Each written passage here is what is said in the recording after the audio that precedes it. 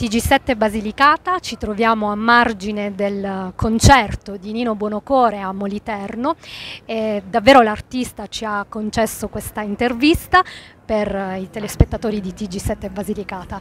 Eh, maestro, veramente per me personalmente è un onore incontrarla, è un piacere incontrarla, ma anche ovviamente come giornalista rivolgerle alcune curiosità, domande.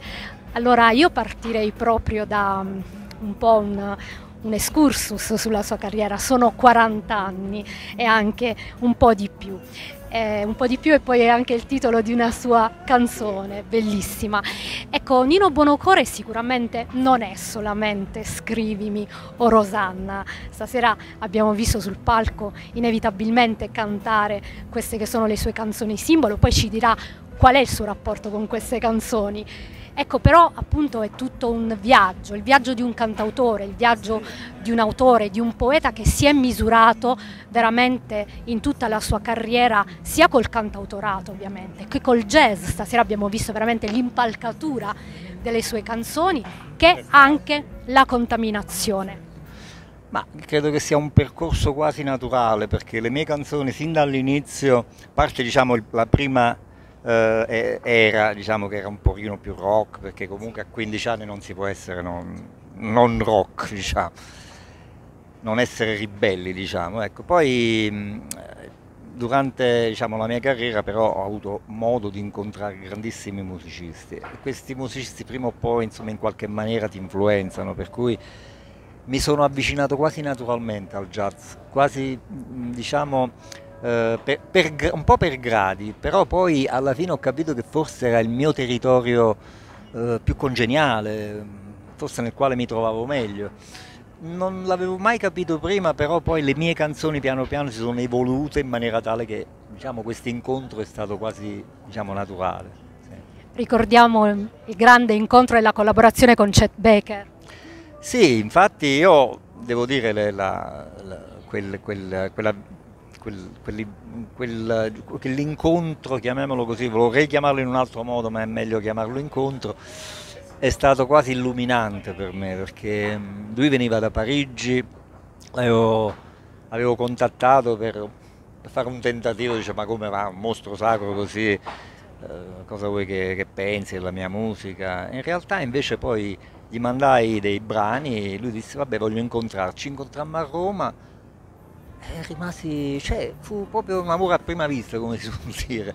Anche perché lui disse: Io non è che amo tanto il jazz, lui disse. Confesso questo. Eh, sì, lui disse: Amo la musica. Ecco, là capì molte cose. Disse: Vabbè, allora tutto sommato non è che poi la, il jazz sia una parte della musica, no, è la musica, è la musica, perché la musica è tante cose, tanti vestiti, tanti modi di essere, tanti modi di esprimersi e secondo me Chet Baker diciamo che racchiudeva proprio questo piccolo segreto e questo incontro veramente mi ha dato la possibilità di avvicinarmi sempre di più al jazz.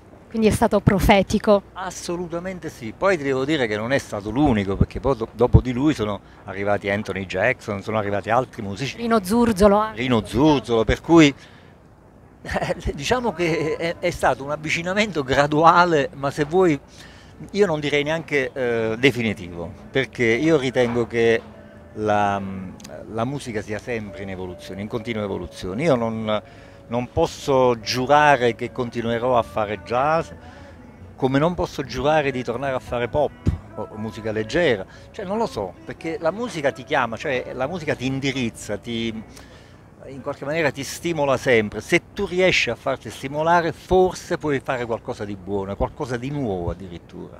La musica è un'eterna sorpresa.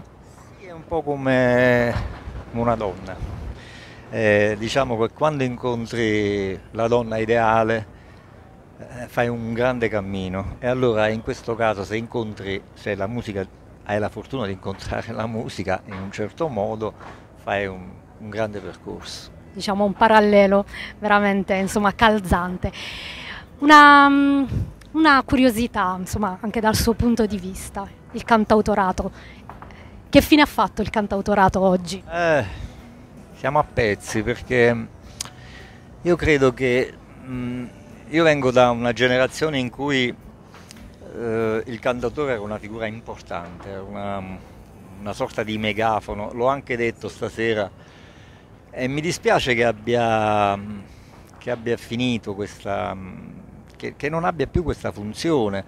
Se noi pensiamo che una canzone, un, un cantautore come Bob Dylan ha, hanno cambiato il pensiero dei giovani di quel tempo, ma non di proprio la storia, io direi, la storia, perché poi sai i movimenti studenteschi, queste cose qua, cioè io oggi non ne vedo, cioè non vedo nessuna partecipazione, diciamo, dei giovani, perché poi sono i giovani che cambiano il mondo, che cambiano le cose nel mondo. Ecco, una volta c'era questa grande forza determinata dalla musica e dai grandi cantautori.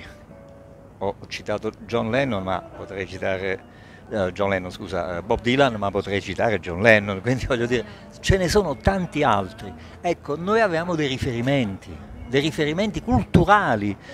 Che sono innanzitutto culturali. Ideologici, ideologici, cioè noi trattavamo la guerra in un certo modo, cioè avevamo davvero dei valori da seguire. Ecco, oggi mi dispiace che ci sia un po' smarrita questa funzione del cantautorato, ecco, questo è tutto. Speriamo di riprenderla. Posso chiederle una domanda forse di rito, gliel'hanno fatta in tanti, il suo rapporto forse odio-amore con Sanremo, posso dire così?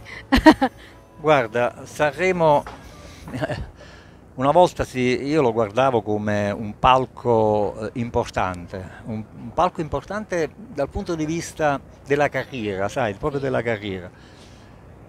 Oggi lo vedo sempre più lontano perché non mi interessa, cioè nel senso che andare lì e mh, avere la possibilità di esprimere la tua personalità, cioè la tua forza artistica in quattro minuti per me è una limitazione orrenda. Cioè io, non, io onestamente voglio mettermi come dire, eh, in mostra su un palco, su un palco dove io canto tutto il mio mondo, dove posso cantare il mio mondo in tutte le sue sfaccettature, ma in quattro minuti. È chiaro che poi i ragazzi vanno lì, i ragazzi, gli artisti vanno lì e fanno le, delle canzonacce, mentre in realtà magari nel disco poi che vanno a pubblicare sono canzoni molto più belle. Ecco, questa è la trappola Sanremo. Non mi piace diciamo, il, il, il format Sanremo, non mi piace. Eh, ecco, Un'ultima domanda davvero, va bene, noi stasera veramente siamo stati avvolti da un'atmosfera intima, grandi musicisti, il successo si ripercorre veramente, si percorre giorno per giorno, si percorre veramente in serate come queste ed è davvero qualcosa che viene trasmesso anche a noi. Ma che cos'è il successo oggi per Nino Buonocore? Il successo è la soddisfazione di poter avere ancora voce per farsi ascoltare, questo è tutto. Cioè, ancora diciamo, qualcosa da dire eh, il successo è scrivere ancora con lo stesso entusiasmo di 40 anni fa eh, cose importanti, cose belle, cose che possono arrivare alla gente come possono non arrivare alla gente. L'importante è scrivere per se stessi. Io, io penso sempre una cosa, dice, eh, lo scrittore, eh, il letterato che scrive un libro, non lo scrive per il pubblico, io credo, lo scrive per se stesso. Ecco, la musica bisogna tornare a scriverla per se stessi a quel punto sarai fortunato se la gente incontrerà, cioè avrà la possibilità di condividere quello che tu scrivi. Però se vai tu verso la gente, sbagli. Grazie Nino Buonocore per averci concesso questa bellissima intervista, queste parole che veramente spero arrivino, ma arriveranno certamente al pubblico a tutti. Grazie. Ciao a tutti, eh, ciao.